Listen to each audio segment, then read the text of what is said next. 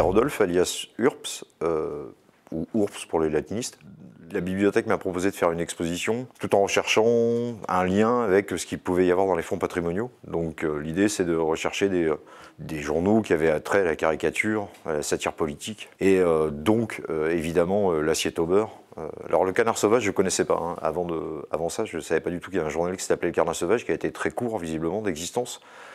Mais l'assiette au beurre, je connaissais, et ça a été la possibilité de pouvoir trouver les originaux, de faire des reproductions de l'assiette au beurre.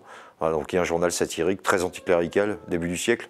Et finalement, s'apercevoir que euh, ce que faisait l'assiette au beurre, c'est à peu près la même chose que ce que je peux faire euh, ou dans le sud-ouest ou dans le canard enchaîné, où il y a quand même une vraie filiation entre les dessins. Même s'il n'y a pas une filiation graphique, il y a une filiation d'idées, une filiation éthique filiation euh, intellectuelle, morale, euh, et probablement assez anarchisante aussi quand même. une certaine filiation libertaire, j'allais quand même pas sortir des dessins de Jacques Faisan.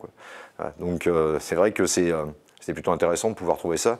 Et en plus d'y rajouter, donc d'ajouter à cette exposition des originaux de moi, que j'ai fait pour la presse, et d'ajouter quelques publications de ma collection, mais qui étaient probablement plus contemporains, peut-être un peu plus alternatifs aussi, un peu plus rares, des choses qui ont attrait plus à la, à une production très marginale, euh, soit du milieu punk, euh, dans lequel il y a eu pas mal de dessins aussi, soit dans la, dans la presse euh, satirique, mais vraiment assez, vraiment une niche pour ce que j'ai pu, pour ce que j'ai pu sortir personnellement.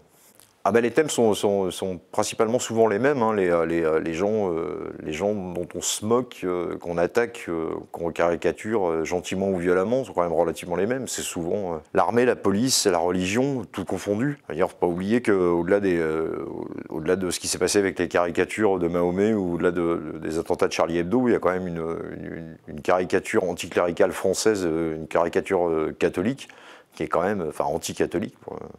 Mais il y a eu des caricatures catholiques anti-libertaires, ça c'est assez drôle, ça se sait peu, mais ça s'est vu dans la presse euh, en France. Mais c'est vrai que pour ce qui me concerne, les publications qui m'intéressent le plus, donc les publications de l'assiette au beurre, la caricature, la caricature anticléricale et anticatholique, elle, quand même, elle a quand même été très très forte au début du siècle. Et on la retrouve finalement, on retrouve cette caricature. C'est pour ça que je dis qu'il y a une vraie filiation entre ce qu'on a pu faire entre ce qu'on a pu faire nous, ce qu'on fait nous, ce qu'on fera probablement, et ce qui s'est fait avant. Il n'y a pas de. Euh, donc d'ailleurs les questions de doit-on s'arrêter, machin truc, non, bah non, finalement on va pas s'arrêter comme les anciens ne sont pas arrêtés non plus. Je voudrais juste dire, j'ai rajouté aussi à l'exposition d'autres choses, j'ai rajouté des dessins sur les murs parce que c'était possible. Voilà, ça c'était pas prévu, c'était complètement spontané, c'est, ça c'était vraiment, euh, c'était vraiment assez drôle à faire. Enfin, il y avait un côté assez euh, fun et sexy, je trouvais, de, pouvoir s'en donner à cœur joie sur des murs. Euh, en plus, euh, vraiment dans ce qu'on peut appeler carte blanche, hein, enfin totale.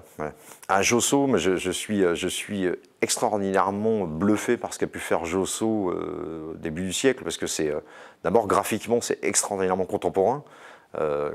C'est vraiment des aplats noirs, c'est des, personnages vraiment caricaturaux, mais sans en faire trop dans la finesse de la caricature. C'est qu'il y a vraiment il y a un dessin très chargé, il y a un dessin très simple et très chargé à la fois et il est chargé. Alors politiquement, il est, extraordinairement, euh, extraordinairement chargé. Hein. C'est vraiment, euh, voilà, c'est, euh, vraiment une charge anti-flic, anti, anti-curé, anti-patron. Enfin, on retrouve finalement chez Josso, on retrouve tout ce qui va être, tout ce qu'on va, pas tout ce que je vais préférer dans les caricatures.